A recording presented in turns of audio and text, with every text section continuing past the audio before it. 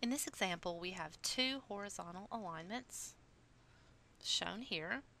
And what we want to do is uh, display the profile for this horizontal alignment and then project the vertical alignment from this horizontal alignment onto this profile. After we project this vertical alignment onto this profile, we're going to want to annotate um, both of the vertical alignments. So let's begin uh, once again by displaying the profile for this horizontal alignment. We'll go to Evaluation, Profile, Create Profile.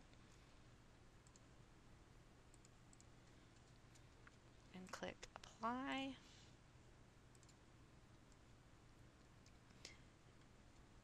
We will view the active vertical. Now we can use the command Evaluation, Profile, Alignments to Profile.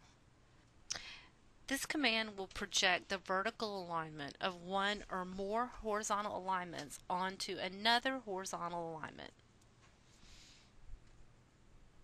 So the alignment, uh, we want to make sure we have the correct profile set selected. And we do have the um, corresponding horizontal alignment set active. So now we're just going to uh, choose which alignment we want to project. So we'll select this one. You can see test is uh, populated here in the selected area. We'll click apply. Now you can see that we have both alignments displayed in the profile.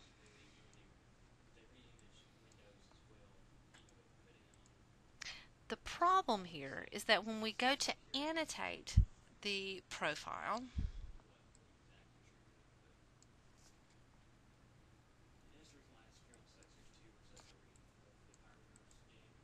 the only vertical alignment that is available to be annotated is the original vertical alignment.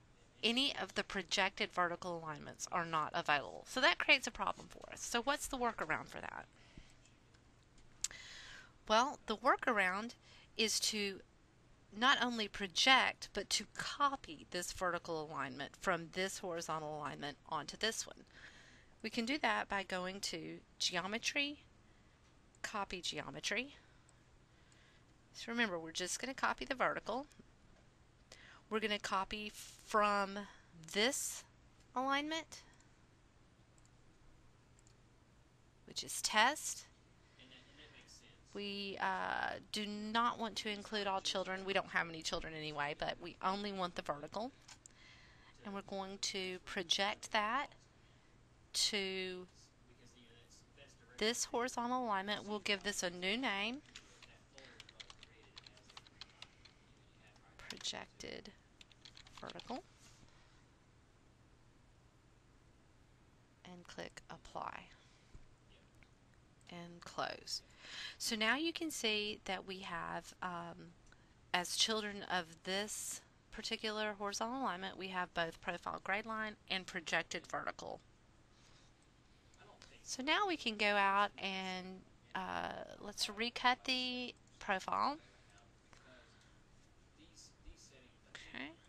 So we want to cut it along this alignment.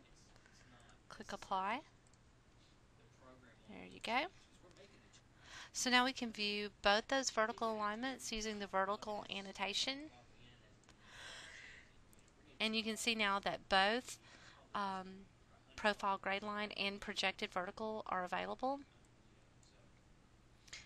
So now in order to display both of them, we can't do it at the same time. So it's important here, uh, since we have to do one at a time, that we go into our locks and turn on our ink lock, which is already on. So we'll start by annotating this uh, main profile. Whoops I had the wrong profile set selected. So let's try that again and click apply.